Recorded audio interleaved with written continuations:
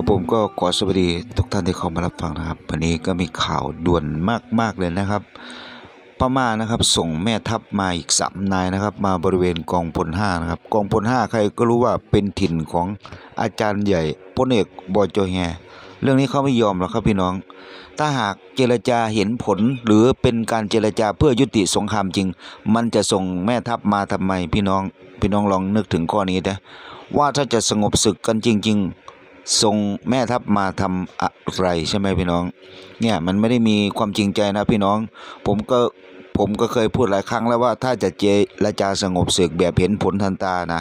มันง่ายนิดเดียวนะพี่น้อง คุณน่ะถอนกำลังกับพม่าไปให้หมดเลย นี่มันง่ายที่สุดแทบไม่ต้องเจรจาเลย แทบไม่ต้องเจรจาเลย แต่นี่มันบอกบอกว่าเจรจาเรียกคนสองคนนั้นนะพี่น้อง มูตูเซโพกับจอนนี่ไปเจรจาไอ้มูตูเซ พมูตูเซโพนะพี่น้องไปกินกล้วย อีกไม่นานก็ท้องแตกนะพี่น้อง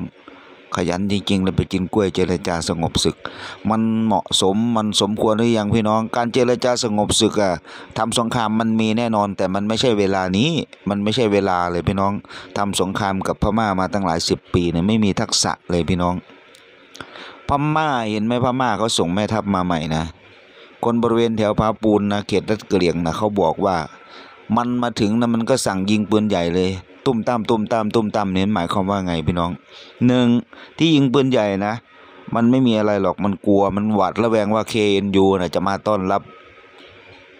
มันกลัวว่า KNU กองพลห้าของพลเอกบอยจอแฮจะไปต้อนรับแม่ทัพคนใหม่ มันกลัวมันถึงนะมันกลัวมาถึงมันก็ยิงปืนเลย เห็นหรือยังอะ เจรจาสงบศึกแบบไหน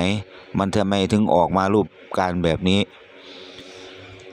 ทุกครั้งที่มีแถลงการออกมาทางผ่านอินเทอร์เน็ตนะพี่น้องพี่น้องเคยดูใช่ไหมมีหลายมีข่าวหลายช่องในเขายืนยันเอกสารหลักฐานว่ามีการเจรจาสงบศึก NLA อะไรนะพี่น้อง พี่น้องลองคิดดีๆที่ว่ามันง่ายนิดเดียวถ้าคุณจะจะยกเลิกการทำสงครามใช่ไหมจะจะอยู่กันอย่างสงบสุขนะมีวิธีเดียวคือขนหารออกไป นี่ กองทัพพม่านะพี่น้องฐานทัพของพม่าอันเอามาตั้งอยู่ในเขตรัฐกะเหลี่ยงนี่ประมาณ 82 82 ฐานนะพี่น้อง ไล่มาตั้งแต่โน่นข้างล่างจนถึงข้างบนนะ82 ฐาน นี่มันเขตกะเหลี่ยงนะ 82 ฐานถามจริง ๆ เถอะไอคนที่ไปเจรจาเนี่ยเจรจายังไง เจรจาสงบศึก ถ้าเจรจาสงบศึกนะมันก็ต้องบอกให้เขาถอนถอนทหารออกถอนฐานทัพออกจากเขตกะเหลี่ยงไปด้วย นี่มันไม่ทำอะไรเลยไปเรียกเจรจา แล้วก็ให้ทุกคนยุติยุติการลบอะไรพี่น้องโอ้ยฟังไม่ได้เลย การเจรจานี่ฟังไม่ได้เลยผมไปเจรจานะ ผมไปเจรจานะ ถ้าหากพม่าไม่ถอนฐานทัพออกจากเขตกะเหลี่ยงนี่ผมไม่ถือว่าเป็นการเจรจานะ เจรจาง่ายที่สุดเลยพม่าต้องถอนฐานทัพออกจากเขตกะเหลี่ยงทั้งหมด 82 ฐาน ต้องถอนออกให้หมด ถ้าถอนออกหมดแล้วผมถึงเรียกว่านี่คือการเจรจา มันไม่ได้ถอนฐานทัพออกนะพี่น้อง มันขนกองกำลังมาอีก แล้วมันเอาแม่ทัพมาอีกพี่น้องเห็นเห็นหรือยังไอ้คนสองคนนะมันมองไม่เห็นหรือว่าเหตุการณ์มันมาถึงไหนแล้วเนี่ย มันสมควรไหม ตามหลักแล้วมันต้องจับไม้จับมือนะพี่น้องจับไม้จับมือให้เหนียวแน่นเลยนะถล่มอย่างเดียว ไอ้เรื่องเจรจานะเอาไว้ทีหลังเราต้องลบให้หนักหนักก่อน จริง ๆ พี่น้องที่เป็นกลุ่มชาติพันธุ์กะเหรี่ยงนะได้เปรียบนะ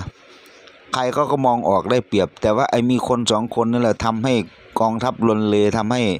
อ่าขุนพลแนวหน้าเขาเกิดภาวะพวงจริงๆอะนะพี่น้องแม่ทัพในายกองที่อยู่แนวหน้านะเขาไม่ได้ใส่ใจหรอกศัตรูที่แท้จริงของเขาคือพม่าเขาไม่ได้สนใจคำสั่งหรอกคำสั่งนะพี่น้องเหมือนที่บอกว่าอ่าขุนศึกแม่ทัพนะเวลาออกรบอยู่แนวชายแดนเขาไม่ฟังคำสั่งฮ่องเต้นะพี่น้อง อะไรสงครามมาถึงนี้แล้วคุณจะบอกให้หยุด มันไม่ใช่นะคุณคุณคิดเรื่องอะไรของคุณเนี่ยมองดูจุดที่ได้เปรียบเสียเปรียบเห็นไหมพี่น้อง จุดที่ได้เปรียบเสียเปรียบคือหนึ่งกลุ่มชาติพันธุ์เนี่ยมันมีคนพม่าด้วย มันมีคนหลายคนนะพี่น้องที่มารวมกลุ่มจับอาวุธฝึกอาวุธที่จะต่อสู้กับพม่านะนี่คือข้อได้เปรียบนะ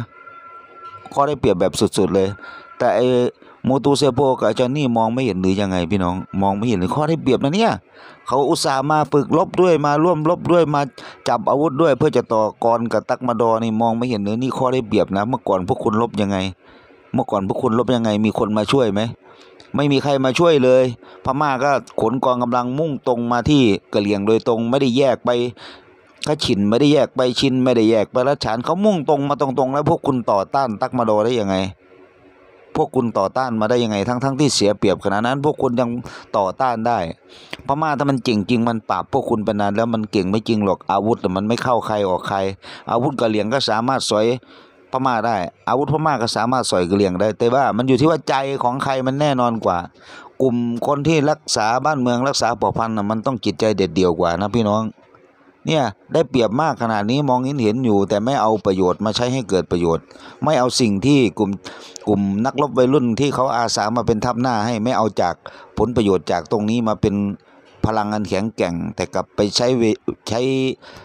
อ่าเจรจาใช้เวลาใช้การเจรจามาบังนะพี่น้องมาปิดมาบังมาทำให้กองทัพที่อยู่แนวหน้าเขาเลรวนนะ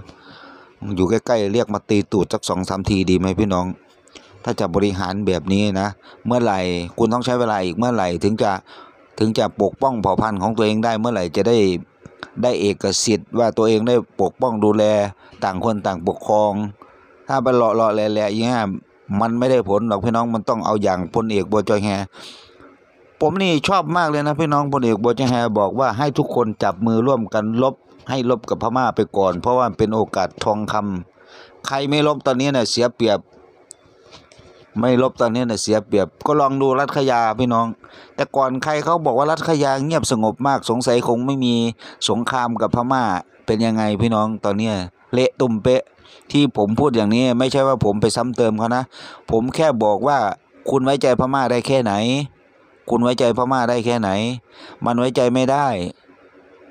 ครับผมสำหรับคลิปนี้ผมก็นำเรื่องแม่ทัพนั่นแหละมันส่งมาสามคนครับผมสวัสดีครับ